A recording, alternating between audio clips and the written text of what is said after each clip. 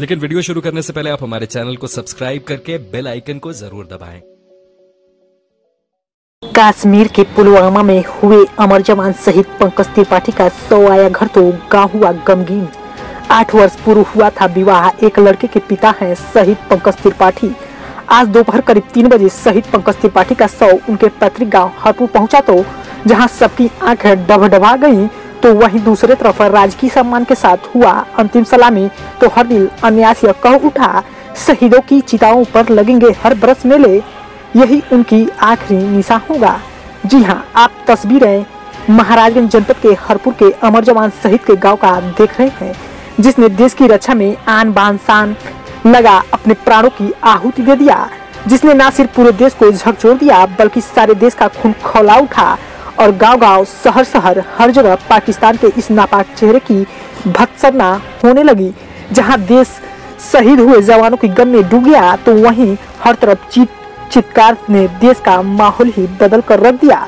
देश का हर नौजवान और हर नागरिक न ना सिर्फ़ पाकिस्तान विरोधी नारे लगा लगाने लगा, बल्कि पूरे देश में पाकिस्तान प्रधानमंत्री इमरान खान व आतंकी सरगना मसूद अजहर का पुतला फूंक विरोध प्रदर्शन किया गया।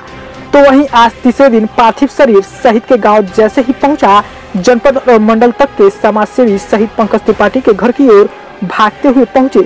जहाँ सौ का राजकीय सम्मान के साथ अंतिम विदाई दिया गया तो वहीं पूरा गाँव शहीद की याद में रोने लगा। दर्द ऐसा कि जाने वाला हर व्यक्ति दर्द में डूब गया। जम्मू कश्मीर के पुलवामा में हुए आतंकी हमले में महाराज का लाल शहीद हुआ। हरपुर गाँव के रहने वाले पंकज त्रिपाठी ने चार दिन पहले ही ड्यूटी ज्वाइन किए थे। उनकी शहादत की खबर आते ही पूरे इलाके में मातम का माहौल कायम हो गया। लोगों में इस अमानवीय घटना को लेकर काफ़ी आक्रोश आज भी व्याप्त है। पाकिस्तान के विरोध में लोगों ने नारेबाजी भी की और सरकार से मांग किया कि शहीदों के सम्मान में सरकार कड़ा कदम उठाए। पंकज त्रिपाठी गुरुवार को पुलवामा में हुए आतंकी हमले में शहीद हो गए। बताया जा रहा है कि शहीद जवान रविवार को ही कश्मीर के लिए रवाना हुए थे, लेकिन परिवार वालों को क्या पता था कि उनका भाई, बेटा, पति और पिता अब लौट कर वापस नहीं आएगा। पति की शहादत की खबर सुनते ही पत्नी बदहवास हो गई थी। माँ के आँसू रोके नहीं रुक रहे हैं।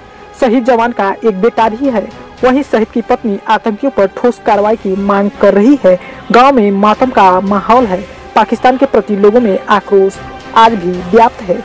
जनपद महाराज के हरपुर से इबारत अली की रिपोर्ट।